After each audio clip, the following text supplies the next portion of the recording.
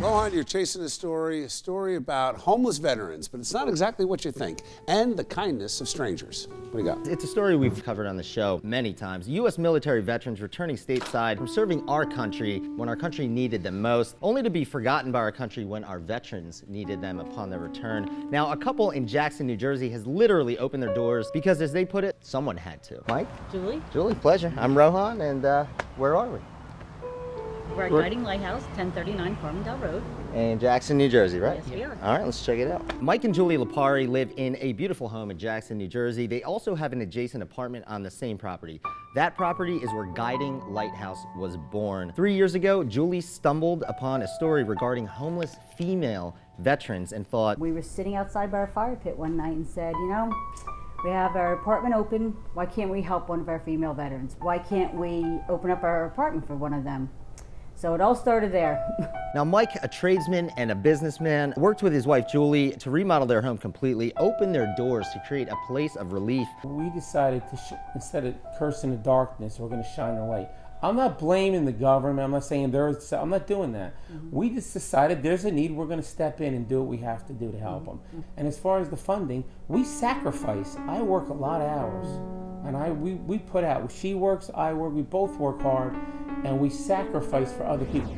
Now, Marie is the very first resident of the GuidingLight House in Jackson. She's lived there for three weeks. Her story was really, really phenomenal. I seeked help through the two veterans organizations, um, and neither would help me. I was left homeless. I was left in a parking lot with nowhere to go.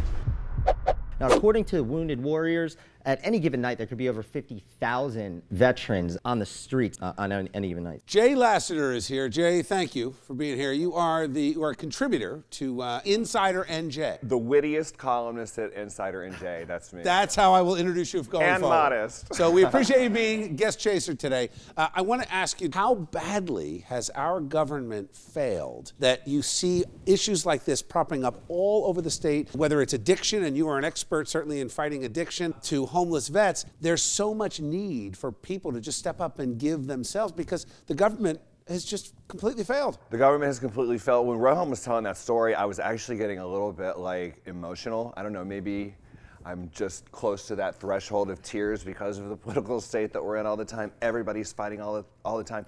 But what really moved me was they didn't point fingers, they did something. And we can all do that.